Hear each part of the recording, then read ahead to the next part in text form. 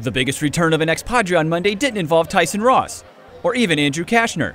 In fact, the most popular guy at the ball yard was someone who never played for the big club former Friars first overall pick and Mission Bay star Matt Bush. This is a team that drafted me. Um, this is, you know, where I imagined myself making my career, and uh, it didn't work out, but it's okay. Uh, it's still a great city. You know, it's hard to take a San Diego kid away and not, you know, not miss it. So it, it's very great to be here.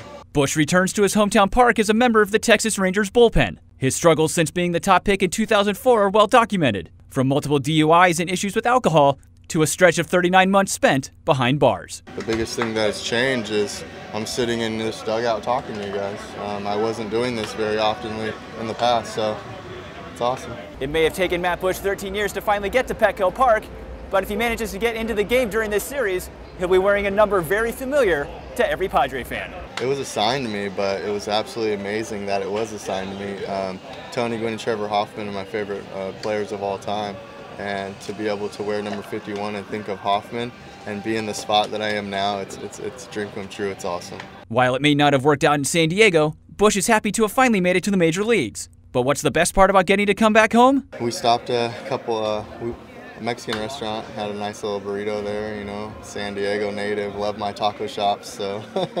From Petco Park, Mike Milburn, KUSI Sports.